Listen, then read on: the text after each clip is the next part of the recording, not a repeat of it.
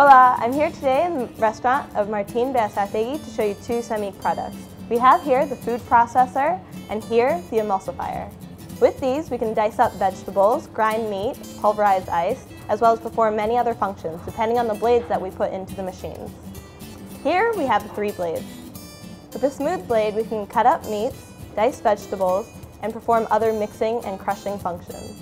With the serrated blade, we can chop fine herbs and cut through frozen products. And lastly, with the perforated blade, we can multiply liquids such as when making mayonnaise. Both machines come in three different sizes, 3, 5, and 8 liters, as seen here. Let's take a look at a few examples of the foods we can prepare using these machines. Here we have pulverized almonds. Here we can dice cured meat. We can also make peanut paste. We can also dice up garlic. We can make a pastry dough. And we can chop up fine herbs. Now let's take a look at the difference between the two machines.